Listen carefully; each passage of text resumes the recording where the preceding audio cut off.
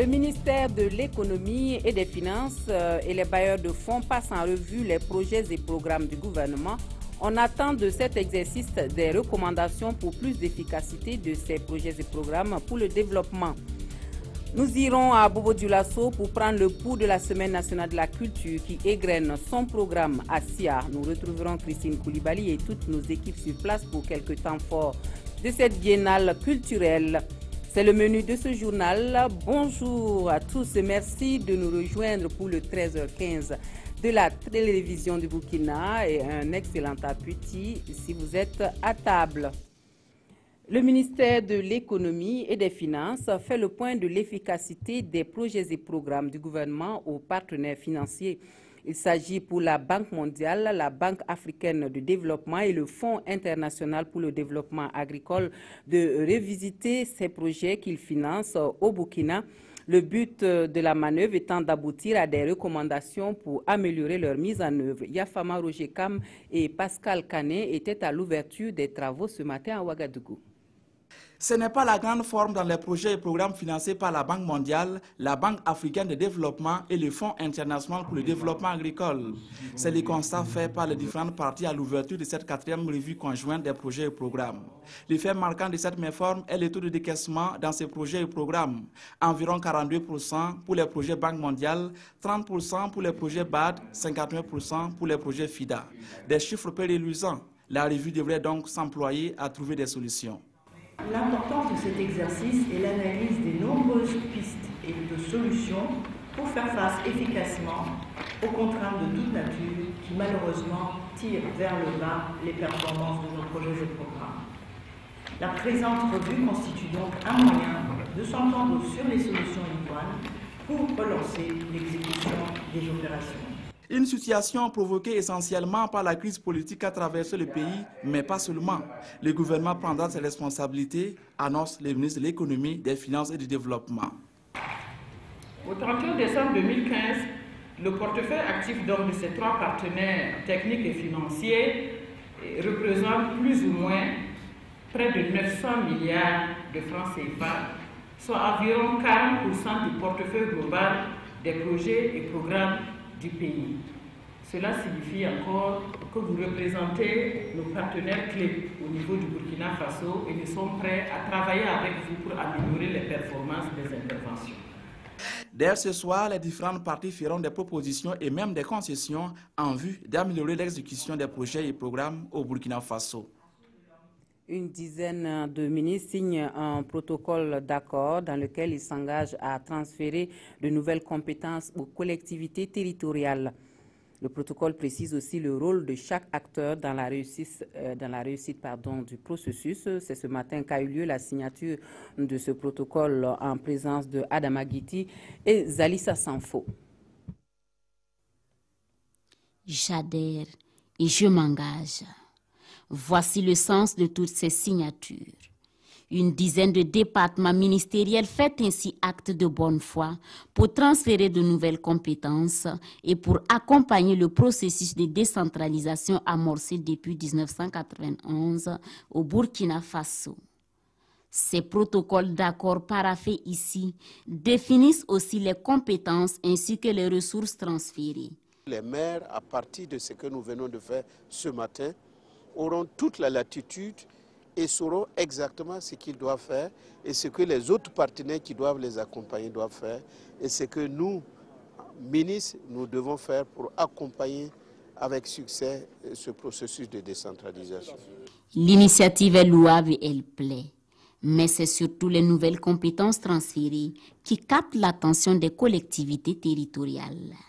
La question euh, portant sur euh, les sports et loisirs, par exemple, euh, c'était un domaine euh, euh, qui n'était pas tellement appréhendé au niveau des collectivités, notamment la question de la jeunesse également, la formation professionnelle. Adhésion et engagement, d'accord.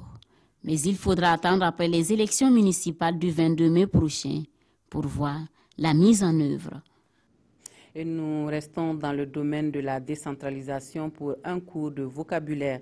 Et nous nous intéressons à la notion de délégation spéciale comme mode d'administration d'une collectivité en cas de défaillance. Qu'est-ce qu'une délégation spéciale? Quelles sont les conditions pour l'établir? Des éléments de réponse avec Paul David Bambara et Nyarki Teda. La délégation spéciale est une commission administrative composée de membres nommés dans une collectivité donnée. Sa mission est d'assurer l'administration de la dite collectivité. Au Burkina Faso, la délégation spéciale a toujours existé dans l'histoire de la décentralisation. La décentralisation a été quasiment consubstantielle à la construction de l'État au Burkina Faso depuis les premières communes Ouaga et Bobo jusqu'aux différentes ruptures que l'on a connues euh, sous la Première République, sous la Misana, sous le, Conseil national de la Révolution, et encore depuis 1991, avec le retour de la démocratie et la réaffirmation du rôle de la décentralisation en tant que mode de gouvernance des collectivités.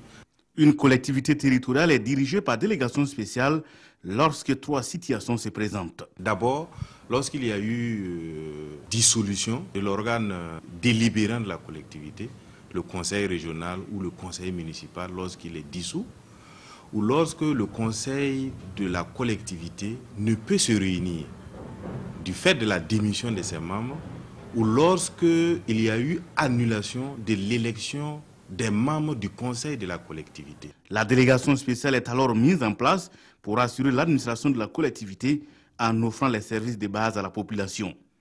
Depuis novembre 2014 et à la suite de l'installation populaire, toutes les 351 communes et les 13 conseils régionaux fonctionnent sous délégation spéciale avec leurs forces, mais aussi des faiblesses. La véritable force a été d'avoir permis justement d'assurer cette continuité-là de satisfaire aux besoins essentiels des populations. Bon, les faiblesses, véritablement, euh, ce n'est jamais de quitter de cœur hein, que l'on met en place les délégations spéciales parce qu'elles euh, elles apparaissent comme étant un recul du processus de décentralisation.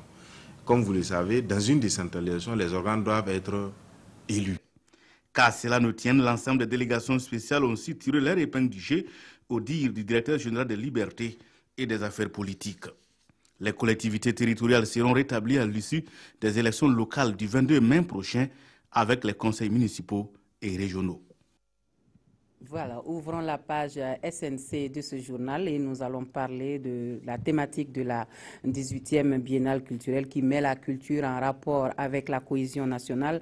La compétition du Grand Prix national des arts et des lettres se poursuit et on enregistre l'ouverture du concours d'art plastique. Nous retrouvons tout de suite euh, Christine Koulibaly à Bobo Dulasso pour l'ambiance sur place. Bonjour Christine. Bonjour Marguerite Douagno, bonjour à tous. Alors la fête de la culture à Bobo du Lasso bat son plein depuis euh, quatre jours maintenant. Effectivement, quatre jours de compétition, de réflexion sur la valorisation des différentes euh, composantes de la culture burkinabé, mais aussi quatre jours d'affaires avec les différents marchés et foires. Alors, on peut noter que l'une des missions de la SNC, c'est l'identification, la valorisation et la promotion des créations culturelles et artistiques. Oui, ce TSI se déroule entre autres dans le cadre du Grand Prix national des arts et des lettres dans la catégorie A du spectacle pour adultes. Slameurs, danseurs, chorégraphes et troupes traditionnelles ont exprimé leur talent autour des thèmes comme le chômage et l'intégrité. Au total, 12 groupes artistiques ont tenu le public en année hier tout en espérant convaincre le jury. Karim Iliboudo et Mounira Kere. Une chorégraphie d'un chômeur désemparé, un slam qui parle d'intégrité et de cohésion sociale. En tout, 12 groupes artistiques ont rivalisé de talent dans la Maison de la Culture Monseigneur Anselme Titiaman Sano. Les thèmes abordés, l'alcool, le tabac, la condition de la femme et le chômage des jeunes. On a parlé de, de en fait. je viens de perdre mon boulot et mon, et mon enfant ne, pourra plus, il ne pourra plus aller à l'école. Donc c'est pour interpeller, ne pas laisser les gens, les enfants dans la rue. Vous voyez, il est devenu bandit. Au-delà du thème, c'est la créativité et l'originalité des œuvres qui retiennent l'attention du public et du jury. La compétition a un très bon niveau. Hein. On a des œuvres de très belle facture hein, dans tous les domaines. nous nous sommes tous les soirs vraiment émerveillés de voir les œuvres que nous proposent les, artistes.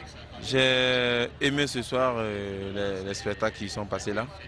Vraiment, je trouve que bon, il y a toutes sortes de niveaux. Il y, y, en a aussi qui sont mieux, il y en a aussi, mais en général, c'était bien. La compétition a duré trois heures et a permis aux différents groupes artistiques de montrer leur savoir-faire. Chacun a donné le meilleur de lui-même et dit attendre la délibération avec sérénité. Leur espoir est de remporter le Grand Prix national des arts et des lettres, édition 2016. Christine, la catégorie art plastique fait également partie des cinq catégories en lice pour le Grand Prix national des arts et des lettres avec ces trois disciplines.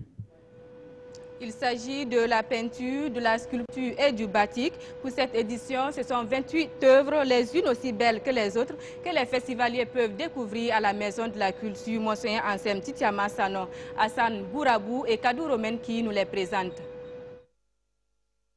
Le marché des œuvres d'art plastique de la 18e édition de la Semaine nationale de la culture SNC Bobo 2016 lève le voile sur 28 œuvres en compétition dans trois disciplines, à savoir la sculpture, la peinture et le batik. Ces œuvres sont toutes impressionnantes, selon le ministre de la Culture.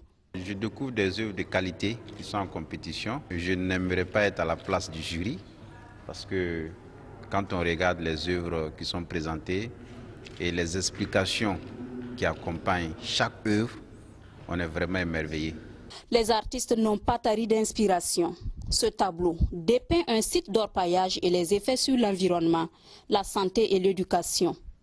Celui-ci est en blanc et noir, le noir symbolisant l'obscurantisme et le blanc le savoir. Sur ce tableau, des figures emblématiques de la lutte pour la liberté des peuples opprimés. Là, ces calebasses décryptent la chaîne de solidarité. Des calebasses qui nous font comprendre que tous, autant que nous sommes, petits ou grands, jeunes ou vieux, pauvres ou riches, pouvons donner et recevoir de l'autre. Juste à côté, un autre tableau qui déborde de joie et qui montre que la parenté à plaisanterie est gage de paix dans nos sociétés.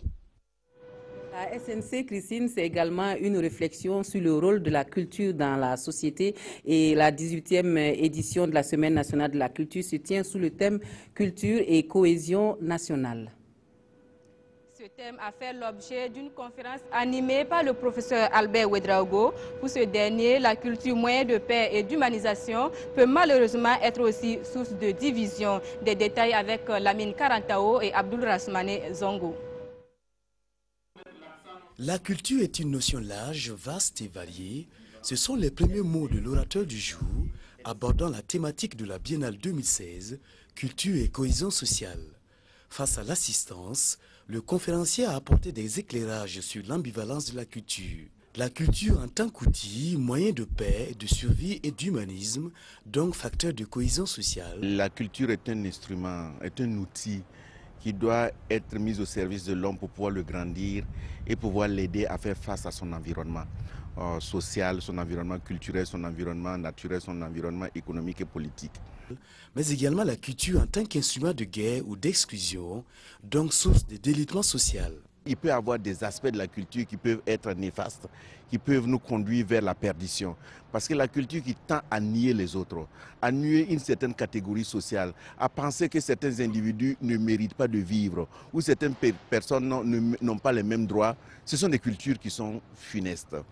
L'une des pistes de solution proposées par le communicateur est de tolérer les différences et de consolider les similitudes merci Christine pour ces quelques temps forts de la biennale culturelle qui bat son plein dans la capitale économique burkinabé. Et si vous le voulez bien, on se retrouve demain pour d'autres actualités culturelles à Bobo. Merci Marguerite Douagno. Retour à Ouagadougou et nous poursuivons ce journal en sport avec la quatrième journée des éliminatoires de la Cannes 2017. Les étalons du Burkina affrontent sous le coup de 16 temps universels les crânes de l'Ouganda à Kampala. Les étalons qui ont pris contact avec la pelouse du Mandela National Stadium sont déterminés à repartir avec le meilleur résultat. Salifou Belem et Dabakini depuis Kampala. Quelques consignes et c'est parti pour le dernier acte avant le match. Des exercices variés et progressifs, la prise de contact avec la pelouse du Mandela National Stadium d'Ouganda, un passage nécessaire pour un match aussi difficile pour les étalons qui entendent mouiller le maillot pour obtenir le meilleur résultat. Mais ça serait un match difficile. maintenant, c'est à nous d'être concurrents et plus combatifs qu'eux. Et courir, courir encore plus parce qu'ils vont courir et, ils jouent chez eux, ils ont leur public avec eux. Maintenant, si on se bat les uns pour les autres et on fait notre jeu, je pense qu'on peut avoir un bon résultat. Les étalons qui devraient faire mieux qu'à Ouagadougou sont donc conscients de l'enjeu du match de cette quatrième journée donner plus de vivacité au jeu tout en restant présent en attaque. Je pense qu'on a fait une belle séance d'adaptation à cette mauvais gazon, très mauvais. Adaptation au climat. C'est un match très difficile, mais c'est un match qu'il faut se battre plus que l'adversaire. Que ça, c'est sa force l'adversaire. Technique on a, qualité on a, mais il faut courir plus que, l'Ouganda. Donc c'est le message qu'il faut, faut faire passer, c'est l'envie de gagner, l'envie de donner le maximum toujours pour qu'on gagne notre objectif. L'objectif dans ce match, c'est d'arracher les trois points de la victoire, à défaut faire un nul. Ouganda-Burkina Faso, c'est ce mardi à partir de 19h heure locale, 16h temps universel. Nous retrouvons Daba Kini en ligne depuis Kampala. Bonjour Daba.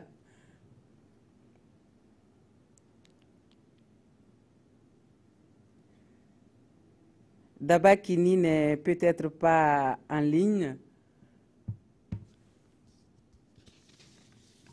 Eh bien, nous allons pour ce journal avec cette information. C'est donc, comme vous l'avez entendu, à 19h heure locale, 16h temps universel, que le trio arbitral malgache va donner le coup d'envoi du match Ouganda-Burkina, comptant pour la quatrième journée des éliminatoires de la Cannes 2017.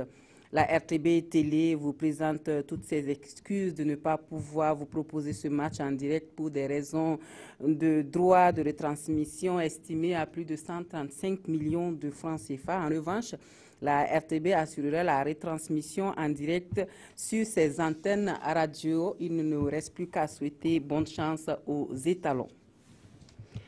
Actualité internationale, un avion égyptien a été détourné très tôt ce matin sur l'aéroport de Larnaca en Chypre, parti d'Alexandrie pour lequel le preneur d'otages, un Égyptien, a menacé de faire exploser sa ceinture dans l'avion.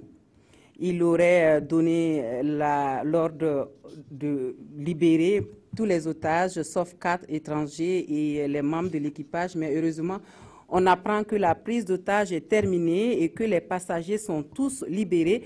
Le forcené, lui, aurait été arrêté. Nous refermons avec la revue de presse des quotidiens. Deux événements phares à lire dans les journaux du jour, l'ouverture de la 18e SNC et la visite du président du FASO sur le chantier de l'hôpital du district sanitaire du secteur 30 de Ouagadougou. Et c'est Aimé Solange Digma qui a feuilleté pour nous les journaux. L'ouverture de la 18e édition de la SNC est l'événement phare des quotidiens du jour. C'est parti donc pour la 18e édition de la Semaine nationale de la culture, titre Sidoya. Les trois coups de tambour pour le top de départ a été donné par le Premier ministre, précise le quotidien. Plusieurs expressions, un seul objectif, consolider la cohésion nationale, note DNF. Un départ qualifié de renversant par l'observateur Palga, mais qui ne rassure pas Taïrou Bari et son équipe, relève le soir. Et pour cause, poursuit le journal, la cérémonie d'ouverture de la 18e édition s'est déroulée dans un stade vide, malgré la présence de plus hautes autorités. Côté spectacle, décrit notre temps, rien à se mettre sous la dent, puis encore, la parade équestre a accouché d'une souris. Dans tous les cas, la 18e édition de la SNC s'annonce conviviale, rassure le journal.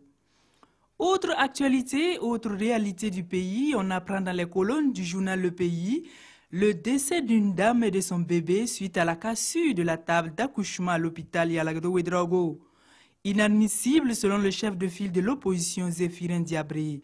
Pendant ce temps, Rockmar Christian Caboret sommes dans les colonnes de la plupart des journaux du jour les entreprises en charge de la construction de l'annexe de l'hôpital Yalagdo au 7h30 d'accélérer les travaux pour l'ouverture prochaine de ces centres sanitaires. Car explique-t-il dans les colonnes de l'Observateur Palga, il est important d'avoir des structures sanitaires adéquates pour pouvoir résoudre les problèmes de santé des populations. Il donne septembre comme délai de rigueur, indique aujourd'hui au Faso. Et on s'arrête ici pour l'actualité de la mi-journée sur la télévision du Burkina. Merci à vous de nous avoir suivis. Un excellent après-midi à tous et à toutes.